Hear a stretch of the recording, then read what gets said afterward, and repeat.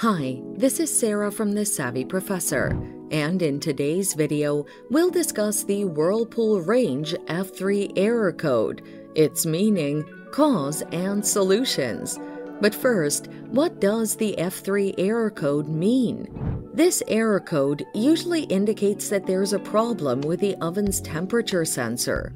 The following are some of the causes of this error code. The temperature sensor in the oven is broken and a control glitch has occurred. Now, let's look at some of the best solutions to fix the error. Replace the temperature sensor. To do this, follow these steps.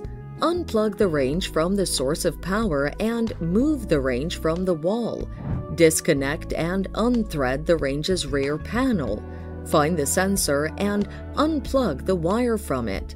Check the wiring for any obvious defects and use an ohm set multimeter to test the sensor's continuity. If the temperature sensor's ohm is reading 1100 ohms or slightly less, it's okay. Clean the sensor thoroughly to resolve the error.